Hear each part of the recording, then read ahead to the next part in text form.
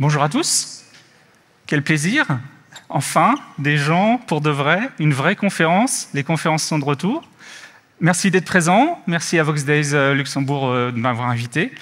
Euh, on va parler de machine learning et d'un point de vue un peu particulier, du point de vue bah, de toute personne avec des connaissances technologiques, mais pas forcément avec une expertise en machine learning.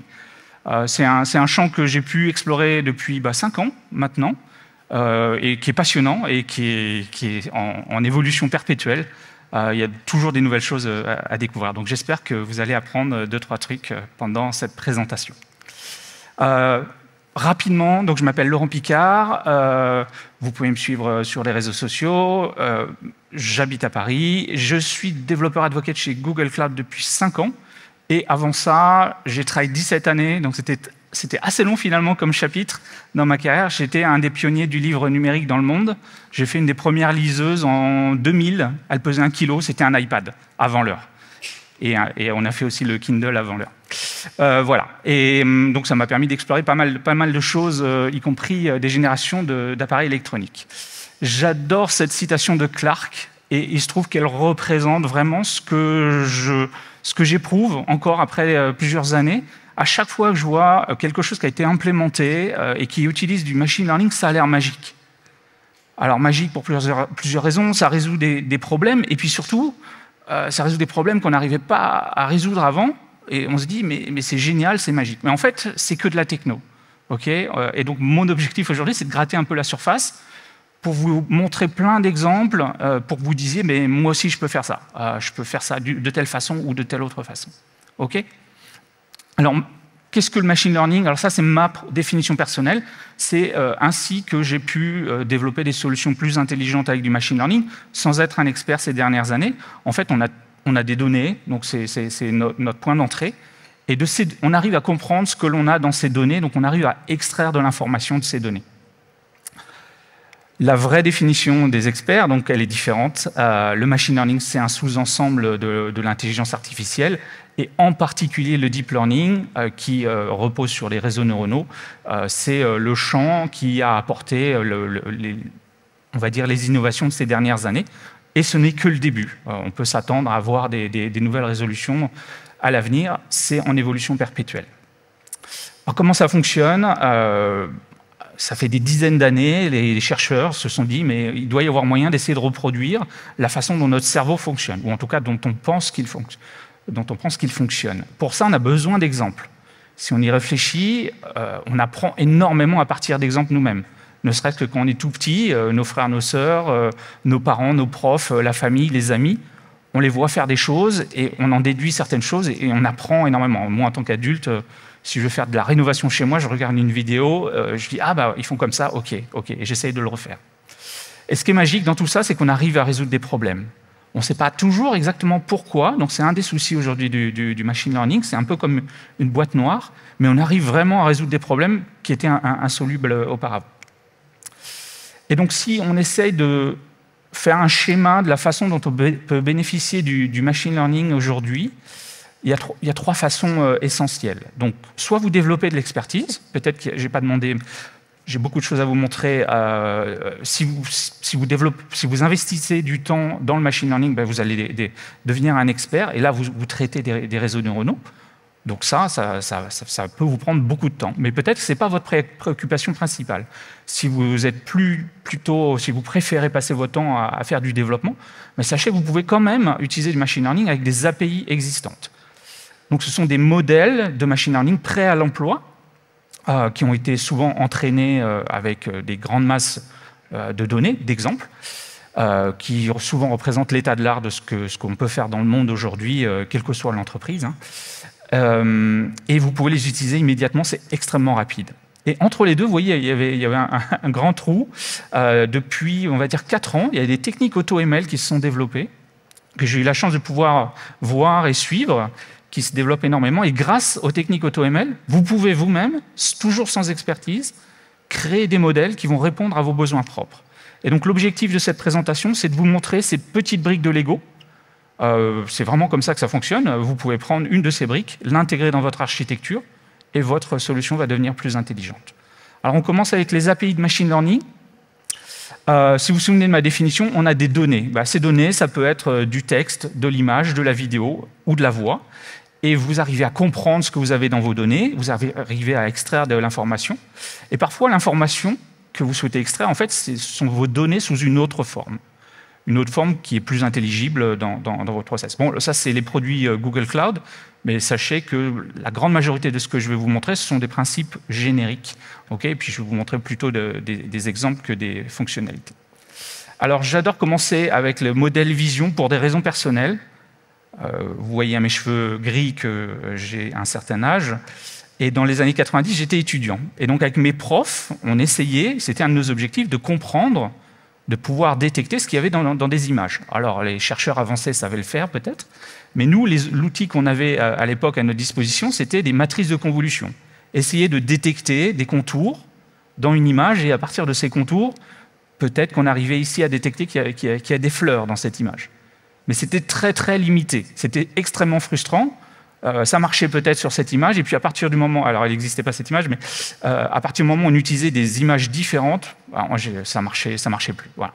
Euh, le machine learning résout ces problèmes. Le machine learning est capable de donner des résultats, de faire des prédictions, des détections sur des données qu'il n'a jamais vues, sur lesquelles il n'a jamais été entraîné. C'est ça l'aspect un peu magique, et c'est ça qui fait que ça fonctionne très très bien. Donc un modèle vision est capable de vous décrire une image. Il vous fournit une liste de labels avec des taux de confiance. Ça, c'est le flux JSON que vous récupérez euh, si vous faites un appel à l'API REST, par exemple vous remarquerez que vous avez toujours des scores de confiance entre 0 et 1, entre 0 et 100%. Donc là, le modèle est très confiant à 95% que cette image parle de nature, et c'est vrai.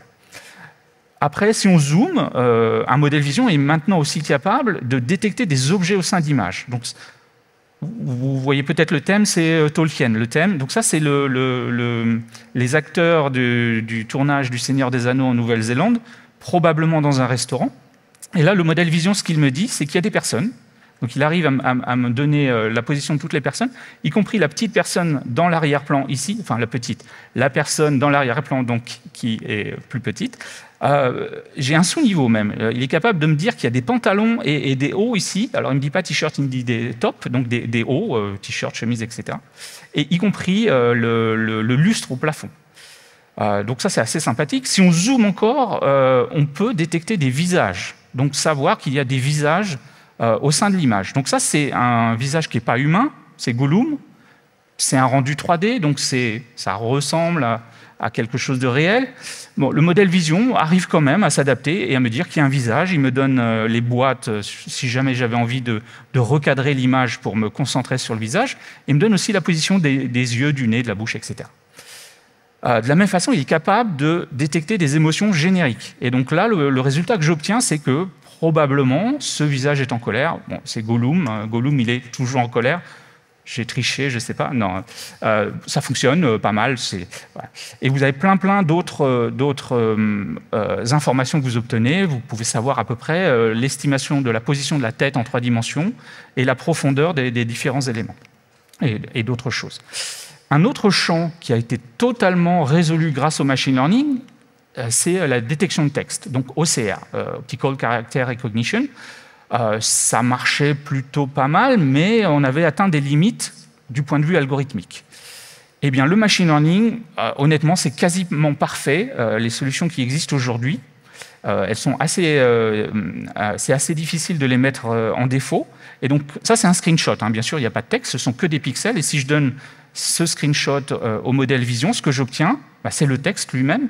Et j'obtiens aussi la structure, donc les différents éléments, ici les blocs, les différentes phrases, les différents mots, les différents symboles. Euh, bon, c'est un peu ennuyeux, il n'y a, pas de faute. Ce qui est intéressant de garder euh, à l'esprit, c'est que euh, les modèles font des erreurs. Les modèles ne sont pas parfaits. C'est pour ça qu'on a des indices de confiance. donc il faut garder en tête qu'il y a des limites à ces modèles. Donc c'est intéressant de les tester, ces limites. Donc là, c'est exactement le même screenshot avec un petit effet de perspective et le modèle euh, vision est capable de donner le bon résultat. C'est encore plus ennuyeux. Mais ce que je peux vous dire, c'est qu'il y a quelques mois, euh, il me faisait une petite erreur. Ici, il me donnait un apostrophe au lieu de, guillemets. Donc tout ça pour vous dire que, euh, même si là c'est ennuyeux parce que je n'ai pas de contre-exemple, les modèles évoluent aussi avec le temps, puisqu'il suffit de les entraîner avec des nouveaux exemples, avec des contre-exemples, là où il faisait des erreurs auparavant. Et le modèle bah, s'améliore, exactement comme nous, euh, au sein de notre carrière, on, s'améliore parce qu'on apprend plus de choses, on a fait des erreurs, on les refait plus. C'est un fonctionnement assez similaire pour les modèles, mais il faut les entraîner. Donc là, il y a eu une mise à jour du modèle OCR qui fait que là, j'ai plus d'erreurs. Un problème plus compliqué que ça, c'est la détection d'écriture manuscrite. l'écriture manuscrite, on a chacun notre propre écriture. Il y a peut-être des familles d'écriture, mais euh, voilà, c'est beaucoup plus compliqué. Des fois, nous-mêmes, on a du mal à, nous, à, nous relire, à se relire. Euh, ça, c'est un, manuscrit de, Tolkien. Donc, j'ai fait l'essai avec le modèle Vision et j'ai un excellent résultat.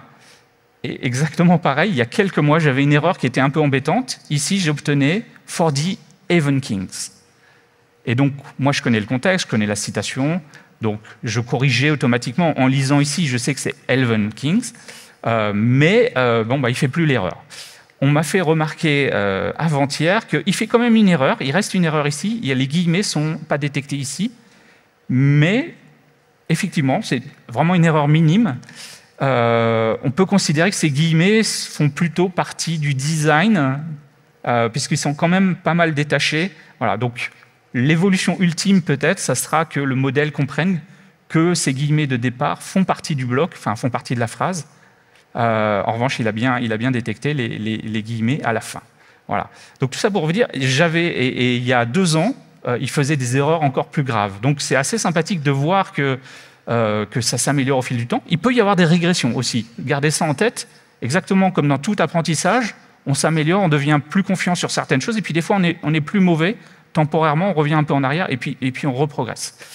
Ok, donc OCR totalement résolu, détection d'écriture manuscrite, ça fonctionne très très bien, ça fait bien, oh, sûr plus d'erreurs que, que, pour euh, le, texte imprimé. Et puis un modèle vision est capable de faire du rapprochement d'images. Donc ça c'est euh, Hobbiton, c'est là où a eu lieu le, tournage du Seigneur des Anneaux en Nouvelle-Zélande. C'est la photo de départ que j'ai reprise, mais je l'ai inversée, j'ai zoomé dedans, j'ai recadré, j'ai appliqué un fil de couleur. Et ce que j'obtiens euh, par le modèle Vision, il me donne la position GPS de cette image. En fait, il a réussi à trouver l'image que moi j'ai utilisée, l'image de départ sur le web, qui est sur le site Hobbiton Tours, donc c'est un site touristique maintenant, et il me donne la position GPS. Et bien sûr, elle n'est pas dans l'image, j'ai bien tout retiré, il ne l'utilise pas par défaut, etc. Vous savez, quand on prend une photo, euh, les appareils photo qui ont des, capteurs GPS euh, stockent la position GPS des photos. Par défaut, c'est pas utilisé. Enfin bon, c'est une option. Euh, là, il est capable de, me donner la position. Donc ça, j'étais assez surpris. Et de la même façon, il est capable au sein d'images, toujours en faisant du rapprochement d'images, d'essayer de détecter des entités qui sont dans, l'image. Donc ça, c'est une image de Tolkien que j'avais jamais vue. Donc j'étais curieux. Elle vient d'un journal espagnol. À ma connaissance, elle a été utilisée une seule fois. Et le modèle vision est capable de me dire que probablement euh, cette image euh, comprend Tolkien et c'est exactement ça. Dans un contexte espagnol, il me donne la référence euh, avec une correspondance partielle. C'est exactement l'image que moi j'ai utilisée au départ. Je l'ai modifiée, hein, cette image. Ce n'est pas, pas juste la même image. J'ai zoomé dedans, j'ai recadré, j'ai appliqué un fil coloré.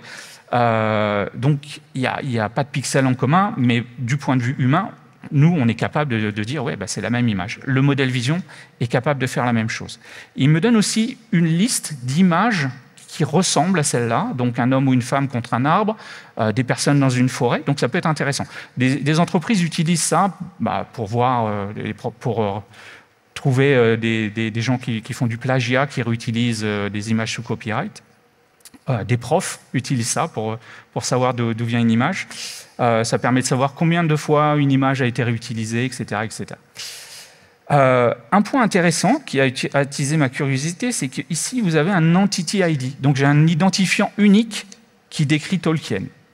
Bon, bah, c'est sympa, ça veut dire qu'au au lieu d'utiliser du texte, le texte, il y a parfois plusieurs euh, façons d'écrire euh, certains mots, certains noms, majuscules, pas majuscules, pseudonymes, variations, points, ponctuation, etc. Ben là, en fait, en tant que développeur, je peux utiliser cet identifiant unique. Et donc, en creusant un peu, en fait, ça vient d'un graphe de connaissances. Alors ça, c'est propre à, Google. Euh, vous savez, depuis plus de 20 ans, Google euh, browse le web pour comprendre ce qu'il y a dans les pages web et fournir aux utilisateurs les, résultats les plus pertinents. Donc il y a besoin vraiment de comprendre ce dont on parle dans une page web. Et pour ça, la, conséquence sympathique, c'est qu'il y a eu un, un graphe de connaissances gigantesque qui comprend des entités. Et, donc là, c'est l'entité de, de, Tolkien. Tolkien le père. Faut savoir qu'il a un fils qui est aussi écrivain, Christopher Tolkien, et qui, Christopher Tolkien a son propre identifiant.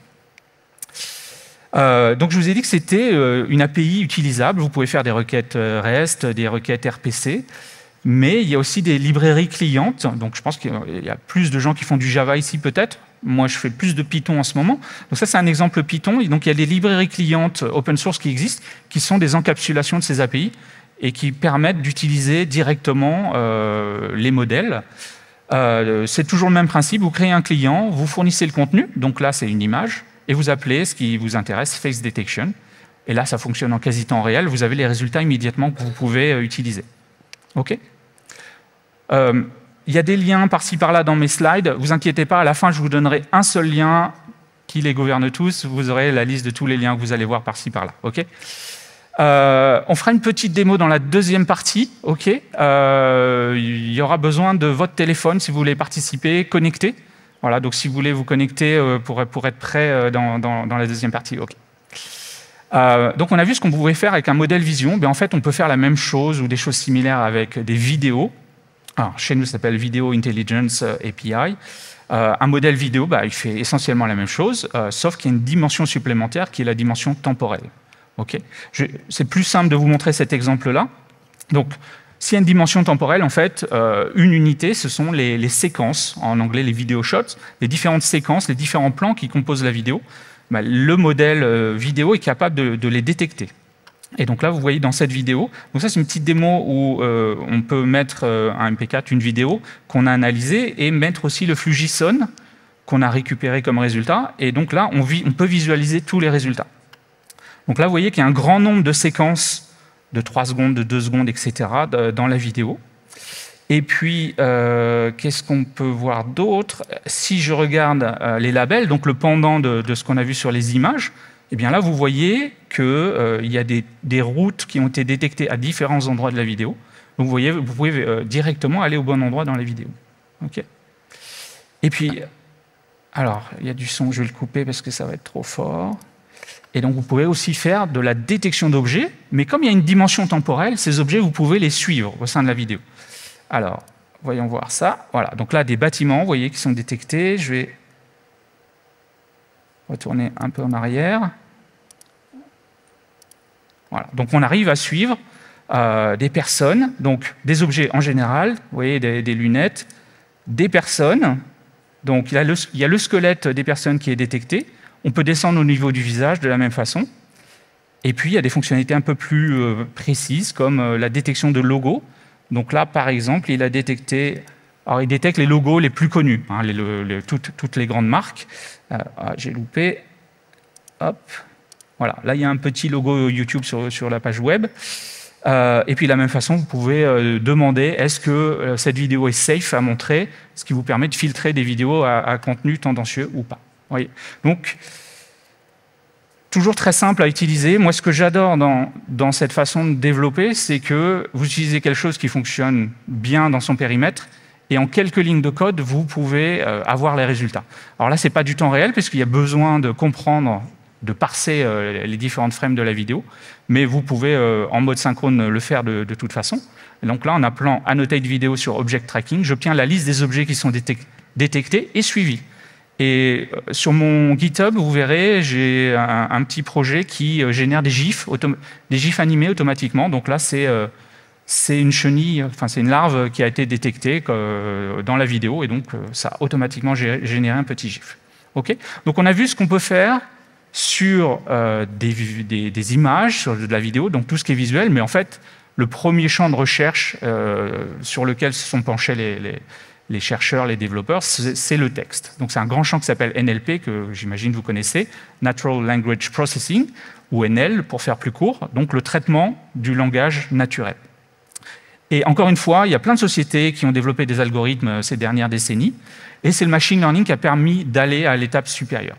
Donc un modèle NL, vous lui donnez du texte, ça peut être euh, un article entier, ça peut être un chapitre, un paragraphe, une phrase.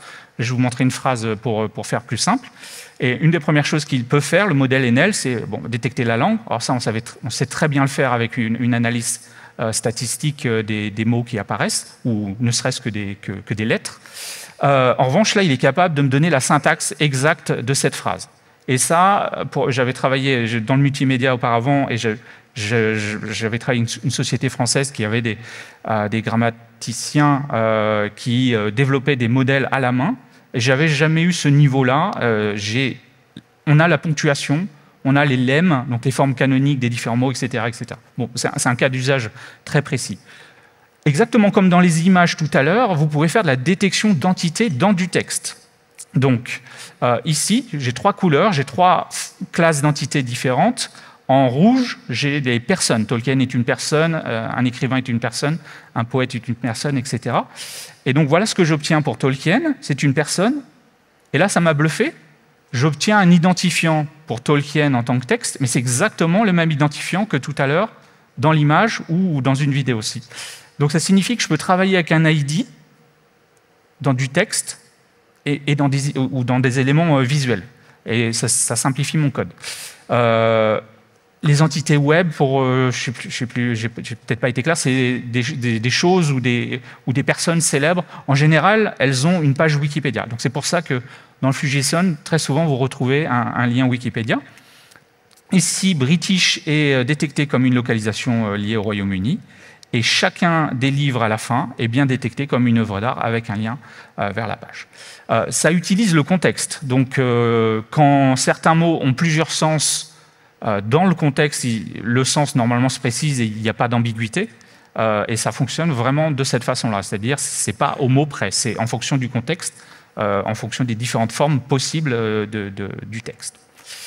une autre fonctionnalité assez sympathique, c'est de pouvoir classifier le contenu. Donc, cette phrase-là, euh, le modèle me dit euh, que je devrais à 97% la classer sous livre et littérature, c'est parfait. C'est utilisé par des entreprises qui ont un grand fonds euh, euh, papier, par exemple. Ils ont scanné, par exemple, si vous prenez un organe de presse, je ne connais pas les, journaux luxembourgeois, mais euh, si vous prenez François, je ne sais pas, euh, des, organes de presse qui existent depuis 100 ans, euh, bien sûr, euh, au départ, euh, bah, ils ont, leurs archives, c'est du papier. Donc ce qu'ils ont fait, c'est qu'ils ont bien sûr scanné leurs archives pour les avoir sous forme numérique. Ils ont passé une couche de CR et ils sont capables aussi de proposer, en dehors de la recherche, de proposer euh, bah, une balade au sein de, ces différents articles, euh, juste grâce à la, classi la, classification automatique. Et le dernier euh, pendant de ce qu'on a vu tout à l'heure sur la détection de sentiments dans les images, vous pouvez faire de la détection de sentiments dans du texte. Alors comment ça fonctionne? J'ai pris pour cet exemple deux critiques, une positive du New York Times, des critiques du, Hobbit, une négative qui vient d'un réseau social, et je les ai données au, modèle Enel. Là, je vous montre juste au niveau des phrases, mais ça fonctionne à différents niveaux. J'obtiens un score entre moins 1 et plus 1, moins 1 pour les phrases négatives, et elles viennent toutes de la critique négative de, Pauline, qui a, détesté le, livre. J'obtiens euh, des scores proches de plus 1 euh, pour euh, un grand nombre de phrases de la critique du New York Times. Et puis là, je vous en montre juste une, mais bien sûr, il y a beaucoup de phrases plutôt neutres, autour de zéro, parce qu'en général, on est plutôt modéré. Ça, c'est utilisé par des entreprises qui souhaitent comprendre, bon, vous connaissez tous les systèmes de notation 1, 2, 3, 4, 5 étoiles. Donc ça, ça donne une idée euh, bah, du sentiment global des utilisateurs. Ça donne une note moyenne sur la prestation. Euh, mais sou souvent, euh, les utilisateurs donnent des critiques détaillées. Et dans ces critiques, il y a du pour et il y a du contre. C'est pas toujours tout noir ou tout blanc. Euh, eh bien en fait, ça, ça permet de rentrer dans le détail et de savoir que telle euh, expression est positive ou telle entité. Euh, on peut même citer certaines entreprises connues. Euh, ça permet à des sociétés de parser euh, les réseaux sociaux qui, et de savoir bah, comment, quelle est la tendance, est-ce qu'on parle plus positivement ou plus, négativement de leur marque, etc. etc. Okay ça, un petit exemple, euh, ça c'est un tuto que j'ai écrit pour vous montrer que c'est très très simple pour faire de l'analyse de, de, sentiments. Là, j'ai les résultats immédiatement et je peux, je peux les traiter directement. Okay Toujours sur le texte, alors je vais poser une petite question. Euh, là, c'est la traduction. Donc, vous avez du texte et vous produisez du texte dans une autre langue. C'est euh, Google Translate disponible comme une API. Est-ce qu'il y a quelqu'un dans la salle qui n'a jamais utilisé Google Translate? N'hésitez pas. Je fais le test parce qu'en fait, je n'ai jamais rencontré quelqu'un qui ne l'a pas utilisé. Ok. Euh, bon, je ne vais pas faire la promotion de Google Translate, mais je vais partager cette anecdote avec vous. En 2016, bon, je ne travaillais pas pour Google, j'étais CTO dans, ma société et euh, j'utilisais Google Translate pour traduire des documents chinois, japonais en français. Et ça marchotait, c'était suffisant pour comprendre le sens, mais clairement, c'était une traduction euh, machinale euh, de qualité moyenne. Et puis en 2016, du jour au lendemain, ça s'est mis à très bien fonctionner. Bon, je ne me suis pas posé plus de questions que ça. Mais en fait, bon, ça a été euh, annoncé publiquement, mais bon, je, je l'ai su que depuis que je suis entré chez Google. ce qui s'est passé ce jour-là, c'est que l'équipe Google Translate est passée d'un modèle qu'on va qualifier de statistique à un modèle de machine learning. Et là, pour moi, c'était magique, puisque je suis passé de quelque chose où je devais passer du temps quand même à interpréter un peu, à comprendre vraiment euh, le sens de, la traduction, corriger les erreurs. Euh, et là, soudainement, ça marchait vraiment très très bien. Pas au niveau d'une traduction professionnelle, mais, avec des résultats excellents. Euh, et là, en fait, c'est ce que vous voyez en vert, donc avec des, mesures de, la qualité du modèle. Et c'est un peu comme une, échelle en décibels. c'est pas linéaire. Et donc, moi, ce que, ce que vous voyez là, c'est genre la qualité, elle était 3-4 fois meilleure que, que ce qu'il y avait avant. Et ce qui est intéressant aussi, encore une fois, je vous ai dit, on peut entraîner des modèles et ils s'améliorent avec le temps. C'est que depuis 6 euh, ans, ça ne cesse de s'améliorer. Non seulement la qualité augmente, mais les modèles sont capables de traiter de plus en plus de langues, y compris des langues pour lesquelles il n'y a pas beaucoup de matière, il n'y a pas beaucoup d'exemples. Euh, voilà. il y a plein, euh, je vous ai mis plein de liens si ça vous intéresse de creuser. Il y a beaucoup de papiers de recherche euh, sur le sujet. Et pour utiliser cette API, ben, en fait, vous créez un client, vous appelez Translate et c'est bon, c'est fini. Et vous avez le résultat que vous pouvez utiliser directement. Les deux derniers modèles prêts à l'emploi traitent de la voix, speech to text et text to speech. Bon, ça doit vous sembler évident mais euh, peut-être que vous n'avez pas euh, pensé à ça, ce sont des briques de base des assistants.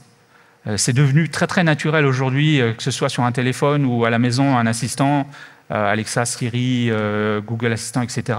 Vous parlez à un objet, vous parlez à un micro, votre voix est retranscrite en texte, le texte est analysé avec un modèle Enel, on comprend votre question ou ce que vous souhaitez effectuer, l'action est, déclenchée et on, vous fournit même une réponse avec une voix qui est agréable. Bah, ce sont ces deux, types de modèles qui sont euh, à l'œuvre et qui marchent dans énormément de langages euh, à travers le monde. Euh, les deux challenges qui sont assez sympathiques, c'est déjà ça fonctionne en temps réel. C'est vraiment pas évident, donc c'est vraiment des avancées des, réseaux neuronaux et la, façon dont ils sont architecturés. avant, ça fonctionnait pas du tout en, temps réel et en plus, ça marchait pas. La qualité n'était pas là. Je pense que vous vous souvenez d'avoir appelé une banque où d'un coup il n'y avait plus de, conseillers, euh, où il n'y avait plus personne à l'accueil, et on vous disait que souhaitez-vous euh, euh, prononcer conseiller? Conseiller. pardon, je n'ai pas compris. Conseiller. Et vous répétiez dix fois, ça ne marchait pas. Aujourd'hui, ça marche, et vous pouvez prononcer bien sûr des choses beaucoup plus sympathiques. un autre challenge, c'est que c'est robuste au bruit, et c'est un résultat sympathique. Quand on entraîne un modèle, on l'entraîne avec des exemples de la vie réelle, et il y a du bruit dans la vie réelle. Euh, si j'ai une conversation téléphonique qui, sert à un entraînement, bah, j'ai du bruit, j'ai l'ambulance qui passe, j'ai mes enfants autour de moi, etc. etc.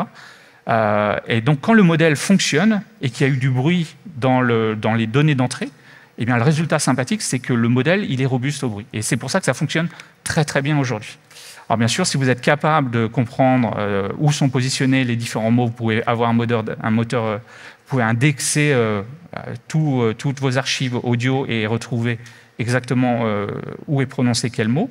Ça, c'est un petit tuto que j'ai essayé où j'ai prononcé une fable dans la fontaine, Maître Corbeau sur un arbre perché, etc. pour tester. J'ai demandé de me sortir la ponctuation et de me sortir la position de chaque mot. Ça fonctionne très bien. Ça fonctionne très bien. La ponctuation, c'est très compliqué. on ne fait pas toujours des pauses au bon endroit, on est hésitant, etc on arrive à avoir quelque chose aujourd'hui très sympathique. C'est beaucoup plus agréable de lire euh, un texte avec de la ponctuation. Et ces fonctionnalités-là arrivent, je crois, sur YouTube. Vous pouvez avoir des, retranscriptions en temps réel. Aujourd'hui, sur des vidéos qui n'ont pas, été, euh, qui, n'ont pas de sous-titres. Ok, et le pendant, donc le text-to-speech, aujourd'hui, vous pouvez générer de la voix qui est extrêmement naturelle. Euh, mais je, le dis, même si c'est une évidence, en fait, on, on, parle que des trains qui sont en retard. Hein, vous vous souvenez euh, Donc en fait, là, on n'en parle plus, c'est une évidence. Aujourd'hui, on peut, un assistant peut me parler, et puis bah, c'est agréable, ça fonctionne, etc. etc. Euh, chez nous, c'est une techno qui s'appelle WaveNet, qui a été développée par DeepMind. Il y a des papiers de recherche aussi, vous aurez les liens, si ça vous intéresse. Euh, les voix sont, bien sûr, les modèles sont générés à partir de vraies voix. Et là, ce qui est magique, c'est que euh, en une seconde, vous pouvez générer 20 secondes de voix et euh, avec un texte qui, bien sûr, n'a jamais été fourni au départ. les entreprises qui ne faisaient pas de machine learning auparavant se basaient sur les phonèmes et faisaient souvent de la concaténation, parfois des demi-phonèmes, mais ce n'était pas du tout naturel, même si ça semblait logique de fonctionner comme ça.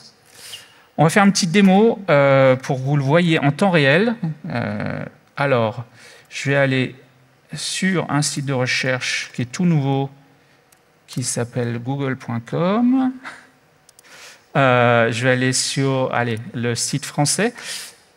Si vous n'avez pas remarqué, vous pouvez faire des recherches vocales. Donc là, je vais, je vais faire une demande, mais comme si j'étais un touriste britannique qui parle français. OK? Quelle est la température à Paris? Il fait actuellement 19 degrés à Paris. Donc là, je vais montrer deux, trois choses. Ça fonctionne en temps réel. Donc l'API, elle est appelée. Dès que je commence à prononcer un mot, j'ai une suggestion. Bien sûr, il faut attendre que la phrase soit terminée pour avoir le meilleur résultat. Euh, et j'ai le bon résultat à la fin. Et puis, vous avez entendu, j'ai la bonne voix qui m'a parlé, euh, qui est agréable, on peut choisir les voix, etc. etc. Mais j'ai utilisé un accent. D'accord euh, S'il y a un touriste qui me pose cette question-là alors que je suis dans les rues de Paris, probablement je vais lui demander de, répondre, de répéter une deuxième fois. Parce que j'étais pas prêt, j'étais pas dans le bon contexte, etc. Euh, et là, du premier coup, ça fonctionne. Donc, quelque part, ces modèles, ces modèles speech to text, euh, ils, ont compris quelque chose, ils ont compris les vraies caractéristiques du langage. Euh, moi, je trouve ça encore bluffant. Euh, et il y a plein d'applications, c'est pour ça qu'on a des chatbots super sympas aujourd'hui. Librairie cliente, un autre tuto que j'ai écrit, juste pour vous montrer, vous pouvez aussi utiliser des, des variations. Donc, par exemple, il y a le français de France et il y a le français québécois. Donc, vous pouvez, euh, donc là, dans mon, dans mon tuto, j'ai plutôt utilisé euh, l'anglais américain, l'anglais britannique, l'anglais indien, l'anglais australien, mais euh, il y a des, je ne sais plus combien de centaines de langues existent. OK? Donc, on a vu ce que vous pouvez faire avec des modèles pré-entraînés. Vous pouvez faire beaucoup, beaucoup de choses, mais ces modèles répondent à des problèmes génériques. Ils répondent à des, des problèmes assez généraux. Au sein d'une entreprise, en général, vous allez avoir des problèmes un peu plus précis. vous allez pouvoir utiliser, faire des chatbots, etc. Mais parfois, ça ne va pas marcher. Alors, je vais vous donner cet exemple. Si j'utilise ces deux photos et que je les donne au, modèle vision qu'on a, vu tout à l'heure, j'obtiens quasiment les mêmes résultats. OK, euh, sky, cloud, donc c'est... Euh, parce que essentiellement, ce sont euh, des nuages dans un ciel. Mais si je veux faire une application de prédiction météorologique et que, j'ai des experts qui savent qu'à partir de la forme des nuages, on peut prédire que dans deux heures ou que, etc., il va pleuvoir ou autre chose, ah, j'ai besoin de connaître la forme euh, des nuages. Et ça, le modèle vision, bah, il n'a pas appris ça. Euh, j'ai besoin de savoir que c'est un Cirrus ici et un Alto Cumulus. Et donc, je suis coincé. Les techniques AutoML vous permettent de répondre à ce problème-là euh, de façon très simple. Alors la seule différence, là il y a besoin de travailler un petit peu plus, c'est que vous avez besoin de chercher les exemples. Et en général, vous les avez au sein de votre entreprise. Là, on est vraiment dans le domaine privé, euh, les données sont privées, les projets sont privés, euh, c'est un projet euh, d'entreprise. Enfin, vous pouvez faire ça à titre perso pour vous amuser. Mais donc là, la richesse du modèle va venir des données que vous allez lui fournir.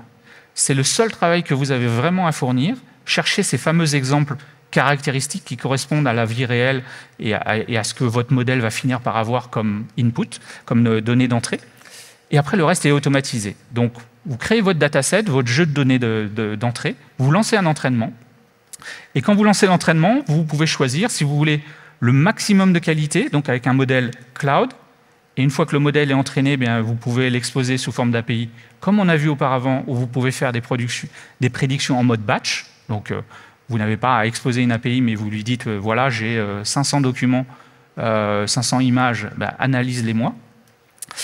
mais vous pouvez aussi, si vous voulez exporter votre modèle dans certains, pour, pour certains problèmes, vous pouvez créer un modèle Edge. Dans ce cas-là, c'est un modèle qui est plus petit, donc de qualité un peu moindre, mais vous allez pouvoir l'exporter et le faire tourner dans une application iOS, une application Android, sur un Raspberry Pi dans un conteneur, et même, je vous montrerai un exemple, dans une page web. Vous pouvez l'exporter au format TensorFlow.js et le, faire tourner dans une page web offline après, une fois que le, modèle est téléchargé. Donc dans notre problème, qui est ici un, problème de classification d'images, on a besoin de savoir ça c'était un cumulus AC, un stratus, un altocumulus, etc., un cumulonimbus. Euh, ben, en fait, il faut qu'on fournisse des images des nuages que l'on souhaite détecter, et puis on a juste à donner un label euh, pour chaque image. Euh, il y, a, rarement des mélanges de nuages, mais si c'était le cas, il y a aussi un modèle multilabel. Il n'y a pas besoin d'avoir des milliers et des milliers d'exemples. Euh, à partir d'une centaine d'images par label, ça fonctionne bien. Là, j'en ai en moyenne 200 euh, par, par, classe, euh, et ça fonctionne très bien. J'obtiens plus de 90% de résultats. Alors, je vous montre la suite. Donc, le dataset, je l'ai récupéré de collègues. J'ai fait un premier entraînement rapide. C'est un processus itératif. Vous n'allez pas avoir un modèle du premier coup en général. Enfin, ça, c'est mon expérience, mais je pense qu'elle est assez générale. Euh, donc, j'ai lancé un petit entraînement et je me suis rendu compte qu'il y avait des erreurs dans le dataset. On est des êtres humains, on fait des erreurs régulièrement. C'est normal, c'est comme ça. Euh, et donc, j'ai corrigé. Il y avait des mauvais labels sur certaines images. Donc là, j'étais un peu plus confiant et non seulement mon jeu de données était meilleur, mais en plus, euh, bah, j'ai donné un peu plus de temps d'entraînement. Donc, j'ai donné trois heures de, euh, de, calcul. Et à la, suite de ça, j'obtiens un modèle qui a une précision de 90% euh, et un taux de rappel de 87. Bon, je n'ai pas le temps de rentrer dans les détails, mais donc c'est un, très bon modèle qui permet de faire beaucoup de choses. Un des outils pour savoir, pour avoir une idée de comment se comporte le modèle dans ce problème de classification, c'est la matrice de confusion. Donc là, je sais que mon modèle fonctionne très bien sur quatre types de nuages. Mais il n'est pas terrible sur l'altocumulus, puisqu'en fait, presque une fois sur deux, il pense que c'est un autre nuage. Et donc là, ça signifie qu'il faut retourner sur son dataset, il y a probablement un problème. Et d'une part, j'ai beaucoup moins d'images sur mon dataset euh, d'altocumulus, donc mon dataset il est un peu déséquilibré, mais le pire, c'est qu'en fait, les images que j'ai fournies, je crois qu'il y en a 135, euh, elles viennent pour la plupart, ce sont des extractions de vidéos de nuages dans un avion ou autre chose. Et donc en fait, ces images, elles se ressemblent énormément. Donc mon alto cumulus, je n'ai pas donné de vrais exemples. Ça sert à rien de donner dix fois une image qui, est très semblable. Euh, une fois, ça suffit. Voilà. Donc créer des datasets de bonne qualité, ça peut être considéré comme un art. Euh, penser à l'équilibre et aussi à la représentativité. Donc, euh, j'ai besoin de nouvelles images d'altocumulus pour que mon modèle soit capable de, les détecter. Encore mieux. Euh, et donc là, j'ai mon modèle, je peux le déployer automatiquement et donc j'ai une API. Et donc bah là, quand je le teste, ça c'est une image qui vient de mon téléphone que j'ai prise en Pologne. Il me dit qu'à 97%, c'est une image de Cumulus. Et ça marche très bien. OK? Donc là, je vous ai encore montré un exemple sur des images, mais sachez que vous pouvez le faire euh, sur du texte, sur des images de la vidéo et même des données structurées, des, fichiers CSV, des bases de données. Si vous connaissez, euh, si vous avez des data lakes, euh, je ne sais pas si vous connaissez BigQuery chez nous, mais voilà, vous pouvez faire de, la prédiction sur beaucoup beaucoup de choses. Ça, ce sont tous les types de problèmes que l'on peut résoudre avec les techniques AutoML aujourd'hui. Et en fait, AutoML bah, est venu se greffer dans. Chez nous, on a une grosse plateforme euh, qui s'appelle euh, Vertex AI. C'est la plateforme AI pour tout le monde, les développeurs et les experts. Et donc là, si je, là, je vous montre juste la vue AutoML, donc que tout le monde peut utiliser sans, sans aucune expertise. Et ce que l'on vient de voir, l'exemple ici, c'est de la classification d'images avec un label. Vous pouvez faire de la détection d'objets. Si vous voulez dire, bah, moi, je veux détecter ça, le, le modèle Vision n'est pas capable de le faire. Vous pouvez faire de la segmentation d'images donc savoir euh, quel pixel appartient à quel objet, ou s'il appartient juste au fond, euh, au fond de l'image. Ça, euh, pour la petite anecdote, ça a, fait le buzz en France ces derniers mois, puisque le fisc a utilisé ça pour faire des détections de piscines sur des images aériennes. ça peut être utilisé sur des cadastres pour repérer des, superficies. Puisque si vous connaissez le nombre de pixels et que vous connaissez le, ratio, ben, vous pouvez en déduire des, surfaces. vous pouvez faire la même chose sur des vidéos. Donc c'est de faire de la classification automatique de vidéos, de la détection d'actions, la détection d'objets et du suivi. Et puis, idem sur le texte, etc. etc. on pourrait en parler pendant des heures. J'ai fait une petite démo. Donc, si vous connectez vos téléphones, c'est le moment de la démo. Euh, on va utiliser l'API Vision, le modèle Vision pour détecter des émotions génériques. Et puis j'ai fait un petit modèle quand même, j'étais obligé de tester euh, AutoML Vision. Euh, j'ai fait un modèle qui détecte les gens qui, tirent la langue, les gens qui dorment et les gens qui baillent. Alors ça n'existait pas, c'est normal, c'est pas utile, mais, mais c'est fun. si vous avez un voisin qui dort, alors on va peut-être vous voir à l'écran. Je vais montrer les résultats euh, à, la fin. Donc, et comme c'est enregistré, si vous voulez absolument pas qu'on vous voit sur la vidéo, ne participez pas. Mais tous les autres, je vous invite à participer. Ça devrait être rigolo. Euh, alors voilà mon, archi. Donc, depuis votre téléphone, vous allez être capable de m'envoyer un selfie. Le selfie va déclencher euh, du code Python qui va appeler l'API Vision pour savoir s'il y a un visage. Si vous prenez une photo de, de votre pied, ça ne va pas marcher. Il va dire pas de visage. Et puis, vous allez avoir le résultat sur euh, votre téléphone, et puis bah, moi sur ma console d'admin. OK? Euh, Vous serez légèrement anonymisé au passage, donc soyez confiants euh, sur, l'écran, ça sera recadré, etc. etc. OK? Alors, c'est en, en, mode totalement serverless. vous pourriez être 500 ou 1000, ça devrait scaler. Donc, vous voyez, donc là, c'est bon. Et je vous invite à flasher ce code QR ou à rentrer l'URL. Alors l'URL c'est bit.ly, bit.ly, slash vdlux22. OK Et puis bah, vous, normalement c'est activé, vous pouvez commencer à essayer de déclencher des, émotions génériques. Ça va, tout le monde euh, nous a rejoint Je regarde, il y a encore des gens qui flashent. C'est bon, encore quelques secondes? OK. Alors, normalement, c'est bon. Donc, moi, ça va utiliser euh, la webcam, euh, la caméra de mon laptop. Et donc là, on peut essayer de déclencher la surprise. Est-ce que ça va être détecté? Donc, le selfie est uploadé, etc. Ça détecte la surprise. Et comme j'ai la position du nez, de la bouche, des yeux, je peux en détecter l'inclinaison, l'inclinaison du visage, et puis placer une moustache à tout le monde entre le nez et la bouche. Tout ça pour savoir si je ressemble à mon père avec une moustache. Mon père a une moustache. Euh, allez, deuxième essai. Donc ça, c'est le modèle générique. Euh, et voilà. Donc vous avez vu que c'est serverless, donc euh, c'est monté, ça, scale plus il y a d'utilisateurs. Alors maintenant, on va passer à mon modèle AutoML. Donc cette fois-ci, cette fois-ci, la moustache, si vous rafraîchissez la page, la moustache sera avec les couleurs du drapeau du Luxembourg. Et là, ça va utiliser mon modèle à moi. Alors, n'hésitez pas à me tirer la langue à dormir ou à bailler. Alors, je suis un peu en train de tricher puisque moi, c'est mon modèle, donc j'ai donné, donné, de mes selfies. Donc, ça a intérêt à fonctionner. Hein. OK, ça fonctionne. Donc, on peut considérer que je triche. OK, allez, je vais en faire une deuxième. Je ne sais plus dans quel angle.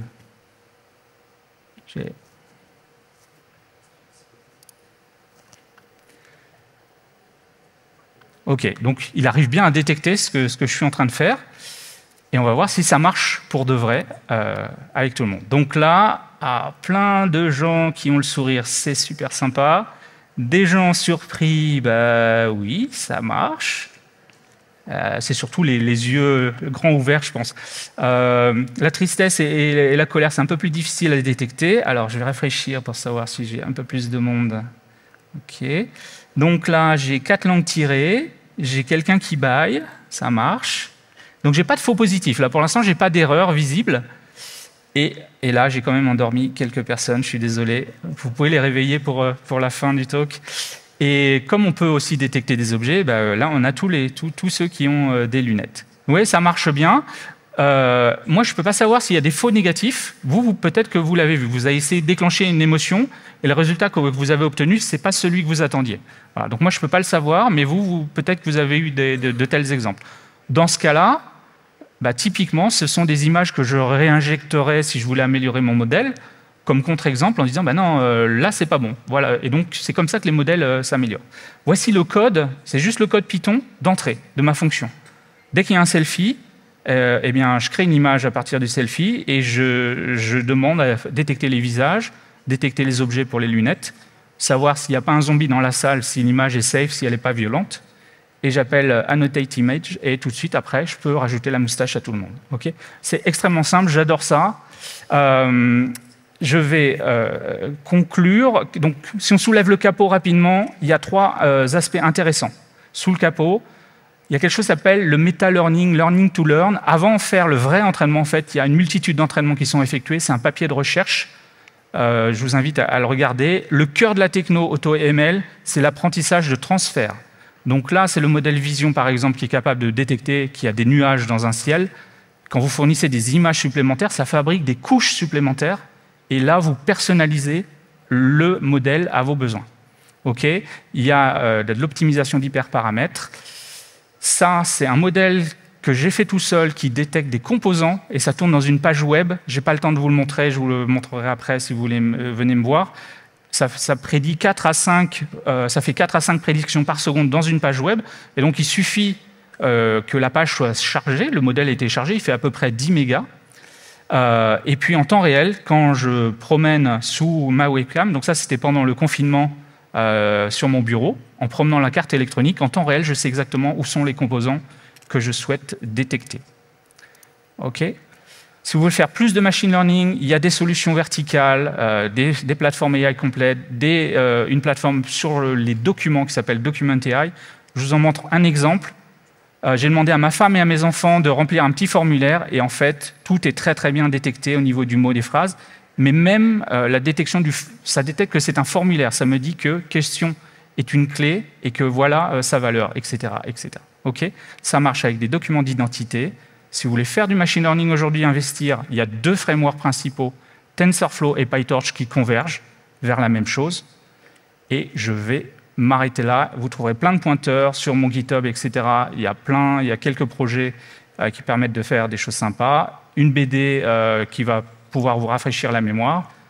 Et un grand merci à tous. Voici euh, le seul et unique pointeur que vous pouvez garder euh, pour cette présentation. J'espère que vous avez appris deux, trois trucs. Et mon Graal, si je vous ai donné une idée, bah, euh, dites-le moi parce que c'est pour ça que je fais ça. Un grand merci à tous et ça va être la place aux questions. Non. Alors, on n'a pas, on n'a pas de place pour les questions, mais je vais prendre les questions. C'est ça, je, laisse la place au prochain conférencier. Mais venez me voir, euh, je, vais, je vais aller dans le couloir, euh, je vais descendre. OK? À tout de suite.